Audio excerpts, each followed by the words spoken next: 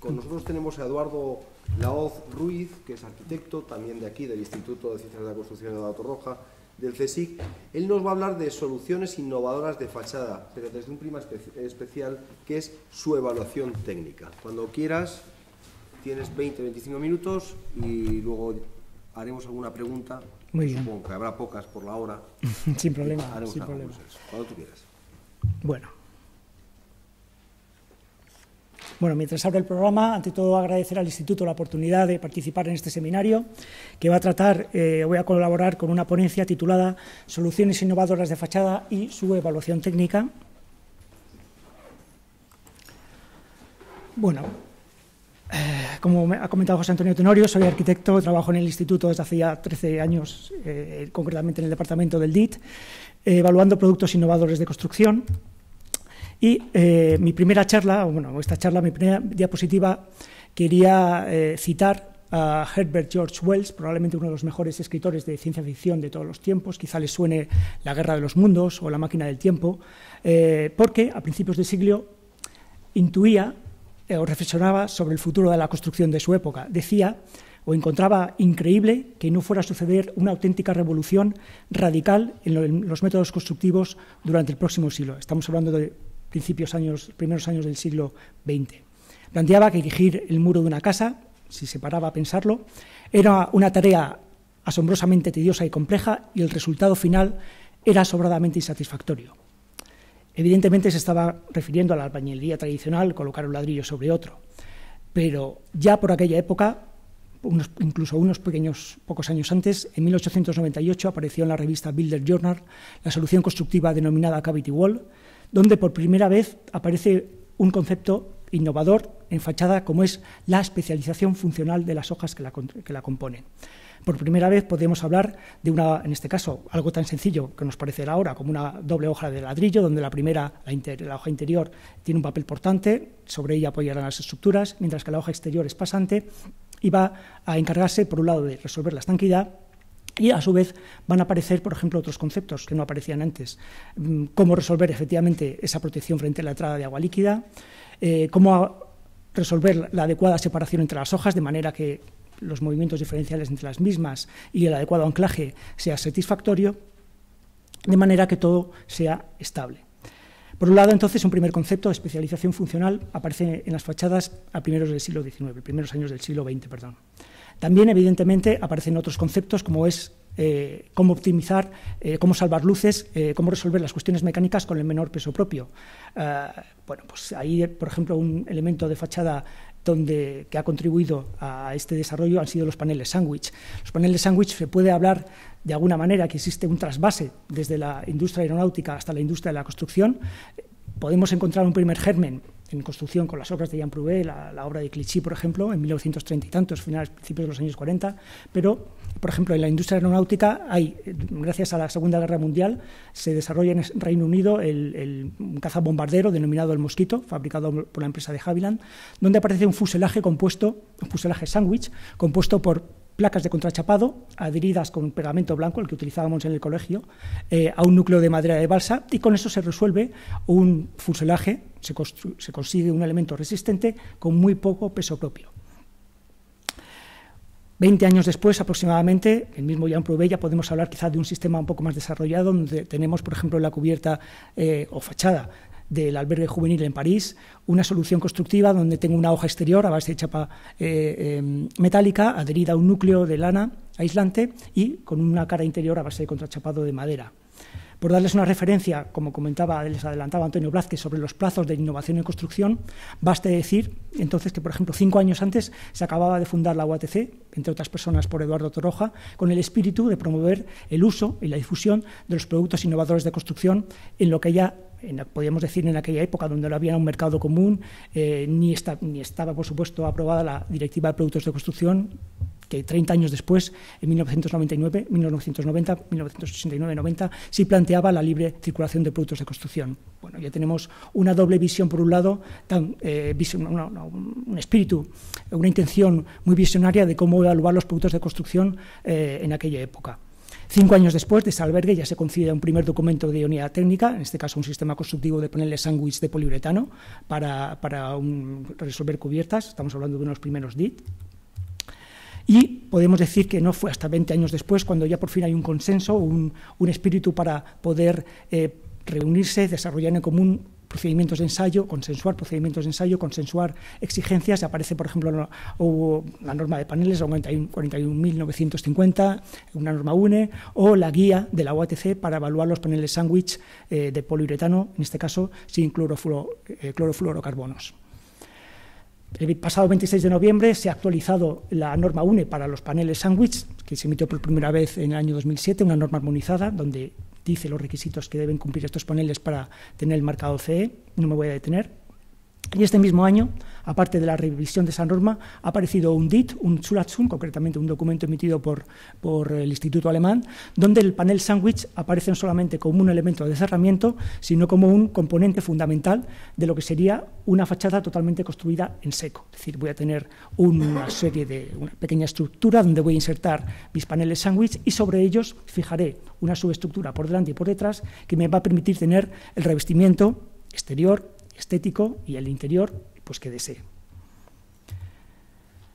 Bueno, a continuación, tras esta introducción, voy a darles unas pequeñas pinceladas sobre cuáles serían, por ejemplo, los, casi los principales sistemas constructivos que hemos evaluado en el ámbito de las fachadas. Algunos seguramente ya los conocerán ustedes y son bien, bien conocidos. Por ejemplo, los sistemas de aislamiento térmico por el exterior, los kits de placas prefabricadas aislantes o los kits de revestimiento exterior de fachadas en este último grupo estaríamos hablando sobre todo de los sistemas de fachadas ventiladas. Los sistemas de aislamiento por el exterior son unidades de obra para el aislamiento térmico por el exterior de los muros de edificación.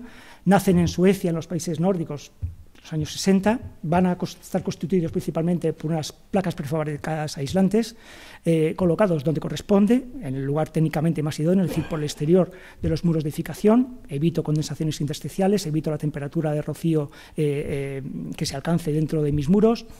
Y, por tanto, bastará considerarlos, cómo fijarlos al soporte y cómo revestirlos exteriormente, porque evidentemente una, placa prefabricada aislante eh, es aislante en la medida que es capaz de atrapar el aire seco de manera que lo pueda hacer este jersey que llevo puesto. En el momento en que mi jersey eh, salgo a la calle y me empape de agua, perderá su capacidad aislante. Por tanto, va a ser necesario resolver, proteger esa placa aislante con un revestimiento que puede ser, en este caso, continuo, configurado a base de eh, pues, eh, morteros acrílicos, pinturas, bajo una capa base de cemento. Probablemente hayan oído hablar de estos sistemas, la rehabilitación de barrios como San Blas, viviendas sociales en Madrid de los años 60, principios de los 70, y parece que tiene un matiz o un producto de construcción, por así decirlo, secundario, de, no sé, de baja calidad nada más lejos de la realidad o nada más lejos de, la innovación. Ya hay fabricantes donde están pensando en cómo, por ejemplo, innovar en los acabados decorativos de manera que pueda tener eh, acabados fotocatalíticos o incluso acabados eh, muy, muy oscuros, eh, donde pueda añadir partículas nacaradas que contribuyan a contrarrestar la absorción de calor que tendría todo el cuerpo negro con la reflexión de la radiación solar.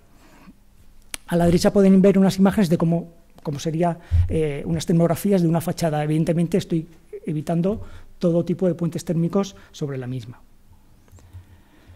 Los kits de revestimiento exterior de fachadas, pues eh, en este sistema, eh, dentro de este gran grupo, estaríamos hablando sobre todo de los sistemas de fachada ventilada. Son soluciones constructivas compuestas por una subestructura, probablemente y opcionalmente sus fijaciones al elemento soporte. Me van a permitir tener una cámara de aire trasventilada donde puedo incorporar un aislamiento térmico, eh, y luego voy a tener que vestirlo con unas placas eh, que pueden ser continuas, puedo tener continuo un revestimiento a base de placas con unas juntas abiertas o cerradas, que evidentemente va a ser eh, su fijación a la subestructura va a ser también un aspecto interesante. Por ejemplo, tenéis en la imagen un, sistema constructivo, el primer DIT que evaluamos con estas soluciones se emitió en el año 2000, ya tiene 15 años de antigüedad. en este caso vemos que eh, estaría configurado por una placa ranurada por sutras 2, donde se colocaría una serie de perfiles eh, horizontales continuados, eh, de manera que voy a tener una especie de fijación mecánico adherida que va a su vez, eh, fijarse sobre la, subestructura directamente por presión. Va a llegar a la obra, a la placa ranurada con los perfiles adheridos, directamente preparados para su posterior clipaje sobre la estructura, racionalizando pues, los, los tiempos de obra. Otro tipo de solución constructiva van a ser, por ejemplo, los kits de placas prefabricadas aislantes, lo que en Francia, se conocen como Betures, eh, y que van a, pues de alguna manera, cumplir la misma función que los sistemas de aislamiento por el exterior. En este caso concreto, la diferencia va a estar en que mm, se busca la prefabricación total o lo más eh, mayor posible en, taller, de manera que yo fabrique en, el taller o en la fábrica, eh, tenga mi placa prefabricada aislante, y adhiera sobre la misma la piel exterior, que probablemente habitualmente son elementos cerámicos como gres porcelánico o incluso pueden darse plaquetas de ladrillo o incluso piedra natural. La clave evidentemente va a estar en conseguir el adhesivo y la forma de fijación adecuada entre superficies tan entre componentes tan, tan, tan diversos como puede ser un poliestireno extruido y una placa de piedra natural. Habrá que buscar el equilibrio entre porosidades, entre espesores propios, etc. Pero son sistemas que están ahí y que me van a permitir resolver de forma rápida y eficiente lo que es la colocación en obra. al igual que tenía en el caso de los sistemas de fachada ventilada, yo tendré previamente colocado sobre el soporte mis elementos de subestructura, una serie de perfiles, eh, de manera que la placa ranurada se inserte fácilmente y permita, como veis en esta imagen, que es una vivienda en, en Miranda de Ebro, tener resuelta la estanquidad y el aislamiento eh, de forma óptima. Bueno, ¿en qué consistiría la evaluación técnica de fachadas innovadoras? Pues va a tener un patrón común a cualquier sistema innovador. Vamos a, no me voy a detener eh, comentarlo en profundidad, vamos a tener tres fases, una inicial donde realmente eh, comprobaremos que ese sistema constructivo es innovador, Después investigaremos sobre cómo evaluarlo, cuáles van a ser los procedimientos de ensayo más idóneos, más eh, realistas, cuáles las exigencias que deberíamos pedirles. Y finalmente, si resulta favorable, concederemos el documento de idoneidad técnica, bien sea el DIT, bien sea la evaluación técnica europea ETE o bien el documento de idoneidad técnica plus. Básicamente, podríamos hablar de, si a la hora de hacernos la primera pregunta, diferenciar un producto innovador de uno que no lo es, básicamente va a ser en comprobar si existe una norma armonizada, es decir, una norma mandatada por la Comisión Europea, que nos diga qué requisitos tiene que tener ese producto para que sea suficientemente seguro para poder comercializarse en Europa. No significa que por tener el marcado OCE ese producto cumpla automáticamente con todas las normativas de los distintos Estados miembros. Podemos entonces tener una evaluación técnica que nos lleve a la, emisión de un documento una evaluación técnica europea, donde trabajaremos sobre todo en el ámbito de la seguridad, pero podemos tener los documentos de unidad técnica nacionales donde nuestro ámbito de actuación será mayor. Estaremos hablando del ámbito de la calidad, por tanto, con un nivel de exigencia mucho mayor que lo estrictamente necesario eh, eh, requerido por lo que es la seguridad. Cómo procederemos a evaluar los sistemas de construcción? Pues intentamos sistematizarlo con algo que ya Gerard Blacher en 1966 eh, describía en su libro Saber Construir. Eh, parametrizaba los requisitos de la edificación en una serie de exigencias. Ese concepto lo trasladó la LOE lo adoptó también el, Código Técnico de la Edificación, lo cogió la directiva y también aparece en el Reglamento de Productos de Construcción. En este caso, pues sintetizado en siete requisitos esenciales que van a ir desde la resistencia mecánica a la seguridad en caso de incendio, higiene, salubridad y protección del medio ambiente, seguridad de utilización, protección contra el ruido, aislamiento térmico y ahorro energético. Un último requisito, la utilización sostenible de los recursos naturales, acaba de aprobarse el año pasado entra en, vigor el reglamento de productos de construcción y no hay que olvidar un octavo, que sería la durabilidad, la capacidad que va a tener ese sistema constructivo innovador de poder mantener sus prestaciones a lo largo del tiempo durante un periodo de, un periodo de vida razonablemente económico, razonablemente eh, racional. Es decir, estamos hablando de que puede que requiera un mantenimiento, pero debe ser económicamente eh, lógico. Bueno, Sería muy largo y muy extenso eh, ir eh, detallando cada uno de los requisitos eh, básicos que, acabo de comentar. Voy a darles una breve pincelada de por dónde pueden ir los tiros a nivel de estudiarlos. Por ejemplo, el segundo requisito, en el caso de un sistema de fachada, vamos a estudiar la reacción al fuego. Recordar que un incendio podemos, en un incendio podemos, por así decirlo, configurar dos tipos de escenario. Aquel primer escenario donde no está el incendio mm, desarrollado, estudiaremos la capacidad del producto de construcción para contribuir al desarrollo del incendio. Un segundo escenario sería cuando ya estuviera el incendio totalmente desarrollado y aquello sería prácticamente, si me repiten la expresión, un sálvese quien pueda, que cada palo aguante su vela. En este segundo escenario estaríamos estudiando la resistencia al fuego de la unidad de obra correspondiente. Por ejemplo, entonces, en un sistema de aislamiento por el exterior, a la hora de evaluar su reacción al fuego, estudiaremos tres parámetros. Su inflamabilidad, su capacidad de generar humos y su capacidad para, descomponerse en partículas incandescentes que pueden provocar eh, el desarrollo de un incendio en otras zonas de la obra. No sé si saben que la reacción al fuego, pues últimamente, desde hace unos años, se estudia conforme a la norma UNE 13501, parte 1.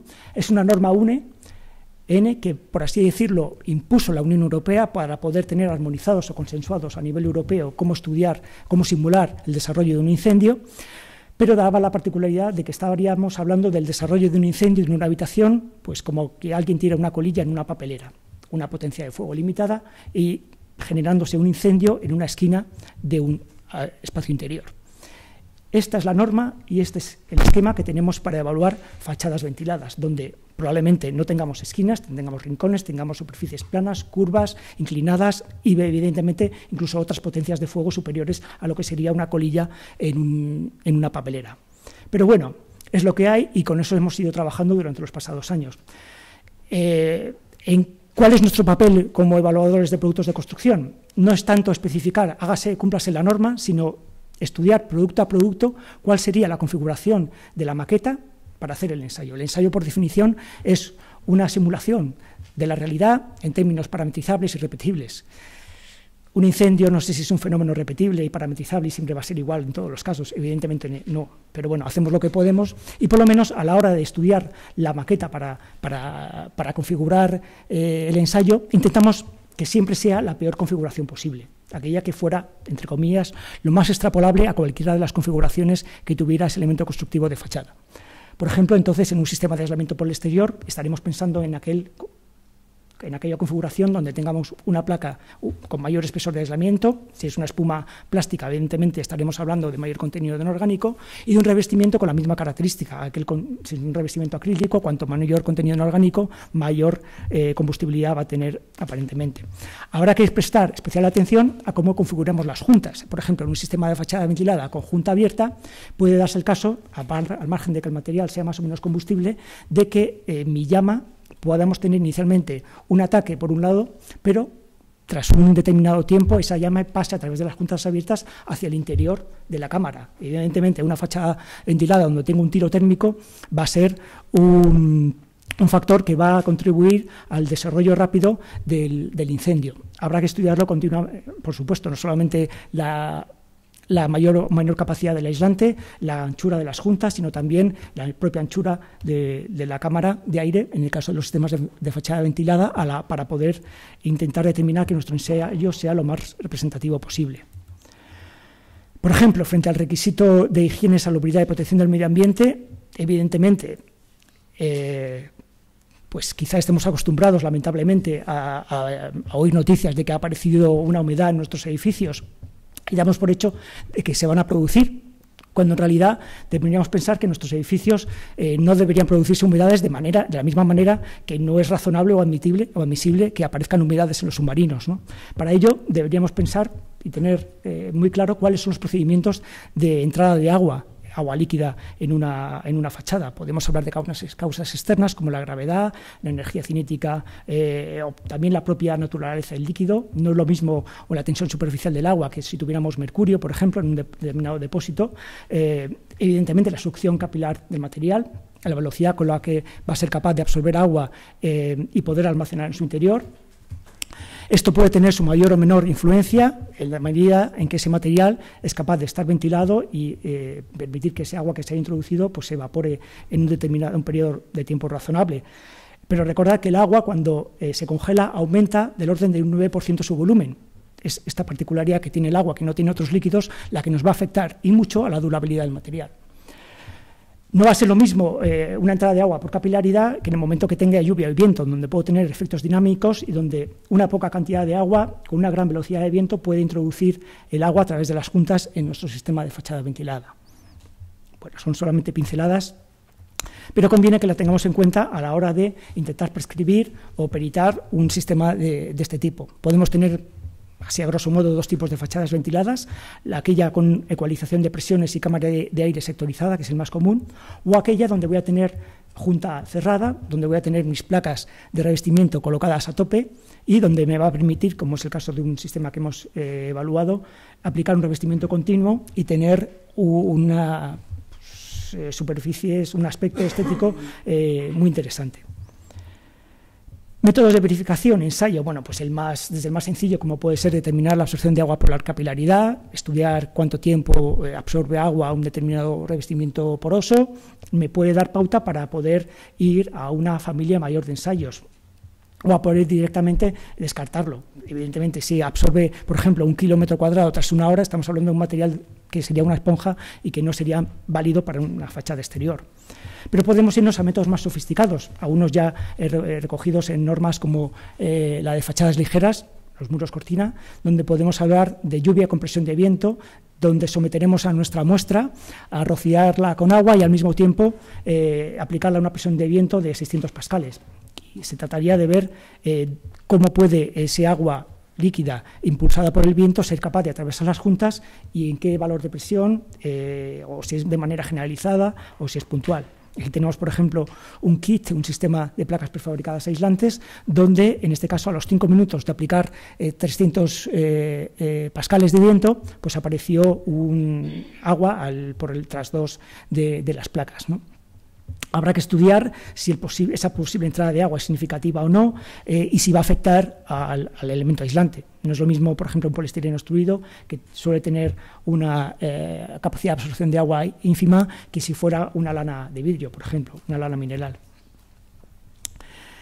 La seguridad de utilización, eh, pues qué duda cabe que hablábamos antes del viento como un factor a la hora de eh, introducir el agua en nuestros edificios.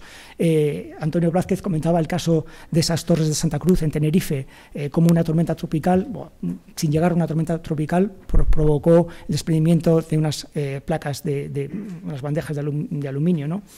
Eh, vamos a tener que estudiar, eh, pues tener en cuenta que el, el fenómeno del viento actualmente en nuestra normativa se limita, por así decirlo, a los números gordos. Vamos a hablar de una presión dinámica basados en cálculos provenientes de una presión estática, pero habrá que tener en cuenta si nuestro edificio tiene una determinada forma singular que va a producir pues, efectos como los turbillinos cónicos, es decir, valores eh, eh, muy rápidos de, incremento de succión del viento que pueden afectar a lo que previsiblemente hemos calculado de acuerdo a la norma, pero que resulta que se producen tantos, tales valores eh, en tan pocos márgenes de tiempo que pueden afectar a la seguridad. ¿Cómo podemos eh, solventar eh, o intentar estudiar o simular el efecto del viento? Pues básicamente estudiamos sobre todo la succión. La succión es más perjudicial que, o más desfavorable que la presión, porque en este caso vamos a tener nuestro elemento de aplacado directamente fijado sobre sus mm, elementos puntuales de, unión a, la subestructura. Mientras si tenemos presión, los esfuerzos se van a repartir de una forma eh, más segura entre los propios elementos de la subestructura. ¿Qué es lo que vamos a intentar? Buscar una configuración de fachada que sea lo más desfavorable posible. La mayor tamaño, con las mayores distancias entre fijaciones, con la mayor distancia entre perfiles, de manera que pues, miramos no solamente, intentamos eh, cuantificar para qué valor de succión rompe, sino para qué valor de succión pues, podemos llegar a tener deformaciones inadmisibles que pueden pues, eh, eh, resultar permanentes y, por tanto, eh, limitar el racional comportamiento de otros elementos mecánicos. Por ejemplo, vemos en el caso anterior, si teníamos pues, un elemento de aplacado con, remachado sobre perfiles de aluminio con sección en T, vemos en esta imagen cómo a partir de un determinado valor podemos llegar a alcanzar un pandeo bastante eh, visible y apreciable para niveles de presión, de succión de viento, mejor dicho, de 2600. Consideramos que aunque no se haya roto la fachada, la placa no se haya desprendido, este valor de deformación, aunque luego recupere y se quede eh, de forma eh, permanente en valores de décimas de milímetro ya nos pueden afectar a lo que serían las prestaciones razonables del sistema.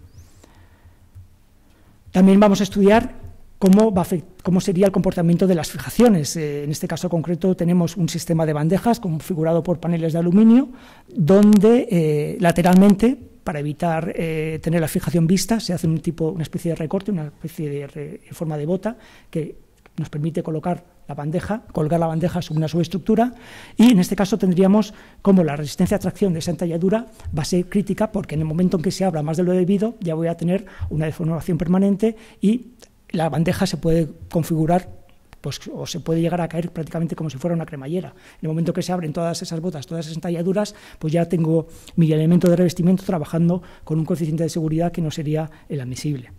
O lo mismo con las fijaciones, eh, los remaches. Vamos a estudiar, por ejemplo, la resistencia al arrancamiento de la fijación apoyando la placa sobre distintos diámetros, sobre anillos de distinto diámetro, de manera que simulemos por un lado o provoquemos por un lado la eh, perforación de la, placa por el propio remache o bien eh, la deformación permanente de la placa. Va a que buscar eh, esos distintos diámetros para poder, en este caso concreto, determinar cuál sería la configuración más desfavorable. Ya les adelanto que cuanto menor sea el diámetro del anillo, voy a tener un arrancamiento más nítido del remache. Aquí tenemos, por ejemplo, un orden de magnitud de los valores, se pueden alcanzar los 1602 newtons de resistencia a tracción otro ejemplo de seguridad de utilización va a ser las cargas dinámicas. Una fachada ventilada o un elemento de fachada pues debería aguantar el impacto de actos vandálicos, desde un cóctel molotov hasta incluso, eh, un, en el caso concreto de las partes bajas de una fachada, un vehículo que se estampa o una avalancha de determinadas personas que, eh, impacta contra nuestra fachada. Nuestro código técnico de la edificación simplemente estipula una carga horizontal uniformemente repartida como valor, como criterio de decidir si una barandilla, una fachada, una partición es apta o no apta, pero no por ahora, esperemos que lo haga en el futuro, puede eh, o recoge la evaluación mediante el impacto de choques de cuerpo duro o choques de cuerpo blando. Un saco de 50 kilos con una determinada energía potencial realmente es mucho más representativo que una carga horizontal uniformemente repartida aplicada eh, con una velocidad lenta. Entendemos que eh, la exigencia que, que, debe tener un elemento de fachada ventilada, pues mm, por lo menos aunque se abolle, aunque se deforme, debe evitar que se fragmente en partículas cortantes que puedan caer sobre los, eh, eh, peatones de la fachada y puede provocar mayores daños. También, aparte de ensayos, vamos a estudiar las condiciones de control y de fabricación. En este caso concreto tenemos un panel que se construye principalmente a base de vidrio reciclado, fragmentos de vidrio, botellas, limpiaparabrisas, que convenientemente pulverizado eh, y mediante un determinado proceso industrial se obtienen unos gránulos, que sería vidrio expandido, que a su vez eh, configurado en un molde con una adecuada presión y con la ayuda de resinas epoxi, voy a tener como resultado un panel muy resistente y muy flexible que, como veis aquí, me va a ser capaz de resolver eh, fachadas eh, curvas, no solamente tramos planos, sino fachadas de doble curvatura. Veis en la imagen el auditorio de Águilas en Murcia, donde en la fachada frontal voy a tener realmente lo que tengo pues una superficie, una doble, una esfera, voy a tener eh, curvatura en el eje vertical y en el, eje horizontal, resuelto con paneles que acabo de comentar, simplemente que van atornillados a una subestructura convenientemente poligonalizada, para tener la curvatura deseada y que tiene la particularidad de que su encuentro es tan sencillo como que prácticamente con un simple cúter voy a poder de ser capaz de resolver los encuentros y configurar el plano y la arista eh, deseada. Posteriormente se reviste in situ, como veis aquí en la imagen, en la parte derecha, con una pintura clínica y el resultado pues es realmente llamativo. También voy a estudiar la durabilidad. Quizás sea uno de los aspectos más difíciles de poder estimar. Eh, tenemos que pensar que estamos hablando de un producto innovador donde apenas va a haber experiencia y tenemos que ser capaces de alguna manera de poder, entre comillas, garantizar que por lo menos en un periodo de tiempo razonable 10, 15, 25 años o 50, eh, no va a tener que estar sometido a tareas de, de mantenimiento de un coste desorbitado. No se trata de garantizar que dure 50 años y al siguiente día, si se cae, ya no está garantizado. Se trata, insisto, de poder de alguna manera prever sus condiciones de mantenimiento. Y para ello muchas veces tenemos que hacer un trabajo de campo. Por ejemplo, aquí tenemos un panel composite de aluminio donde para poder eh, intentar garantizar que tuviera 25 años de durabilidad, eh, rastreamos qué posibles obras habría en España con la mayor antigüedad posible. Tuvimos la suerte de encontrar una con 10 años de antigüedad, fachada de color negro, expuesta a orientación eh, oeste, con lo cual en, sureste de España, concretamente en Murcia, tendríamos entonces las condiciones idóneas para poder, de alguna manera, evaluar la la influencia de la radiación térmica durante un periodo prolongado del tiempo. Y vimos como, por ejemplo, la resistencia al pelado, se trata de un ensayo eh, donde, como si fuera una lata de sardinas, intentamos despegar eh, las, chapas del panel sándwich, veíamos que tras 10 años de exposición a, esa orientación y a estas condiciones climáticas, había una sustancial bajada o disminución de la adherencia de ese panel sándwich. ¿no? más o menos cumplía con lo que eh, declaraba el fabricante que iba a tener, con lo cual podríamos considerar que ese valor de 115 newtons milímetros partido por milímetro podría ser una exigencia razonable. Y para, para terminar, pues me gustaría volver al principio, recordar que citaba a Herbert George Wells, con la, eh, como es el literato eh, autor de, novelas como la, máquina del tiempo. Yo creo que si pudiera eh, ser capaz de teletransportarse como lo hacía el protagonista de su novela o el de la película homónima y aterrizara en, nuestra época y viera pues la cantidad de sistemas constructivos de fachada que hay, seguramente estaría razonablemente deslumbrado y daría fe de cómo la innovación en el campo de las fachadas pues ha sido, nos ha permitido, por un lado, una racionalización de lo que sería el propio proceso constructivo, también tener una gran capacidad nosotros los arquitectos para poder ser lo más creativos posibles y finalmente pues una pequeña reflexión y es que creemos que a esta particular sinergia pues han contribuido las evaluaciones técnicas que hemos desarrollado en el Instituto Torroja desde hace 50 años. Muchas gracias.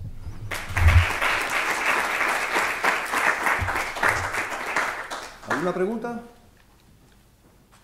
es lógico que no haya ninguna pregunta porque estamos a punto de irnos. Quedan, por tanto, las conclusiones y tengo que hacerlas yo. Voy a ser muy breve. Hoy se ha hablado de innovación en construcción, sobre todo en edificación. Mañana se hablará de innovación en, ingeniería civil. Eh, hoy se nos ha presentado aquí la Plataforma Tecnológica Española de la Construcción. Hemos hablado de flujos de innovación y colaboración público-privada, de investigación e innovación como impulso de la marca España Vivimos en un momento de oportunidades, nos ha dicho la directora general, y que Europa en sí es una oportunidad. Se ha hablado del horizonte 2020 y de las instituciones y empresas eh, eh, que, juntas pueden eh, promover la, innovación.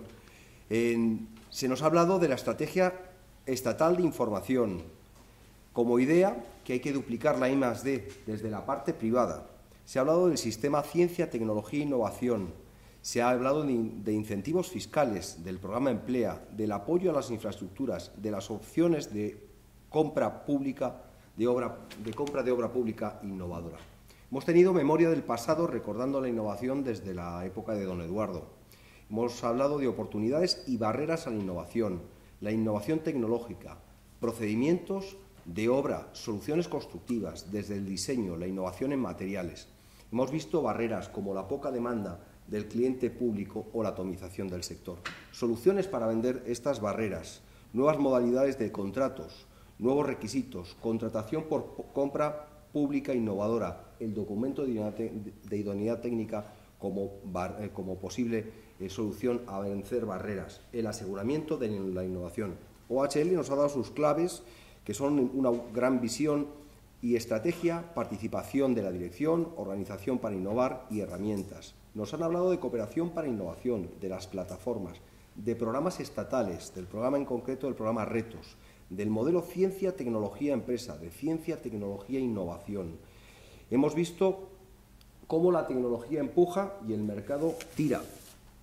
Se nos ha hablado de organizaciones internacionales como la EUATC, la EOTA y la WFTAO como evaluadores desde todos los países de la innovación. La innovación desde el punto de vista de la promoción. Nos han dicho desde una empresa innovadora, en nuestra empresa innovamos todos, contándonos éxitos y no tan éxitos, con productos, procesos, marketing y organización. Hemos sido seducidos por la innovación en el diseño, con una frase espectacular como nada es imposible. Espacios intermedios, organización compleja de espacios, edificios innovadores desde su concepción Hemos visto una herramienta innovadora como es la herramienta BIM, con proyectos innovadores a través de ella, con herramientas y metodologías, como una herramienta n-dimensional de ayuda, que nunca sustituirá a esa herramienta fundamental que es un buen proyectista, un buen arquitecto, como una herramienta de competitividad, con la planificación, control y la eficacia. Y nos, por último nos han contado fachadas innovadores y su evaluación. Yo no me queda más que dar las gracias a los ponentes, a los asistentes y a los patrocinadores como eh, Fundación Vía Célere, eh, BASF, NAUF y Fundación Laboral de la Construcción. Mañana continuamos con el seminario. Muchas gracias a todos.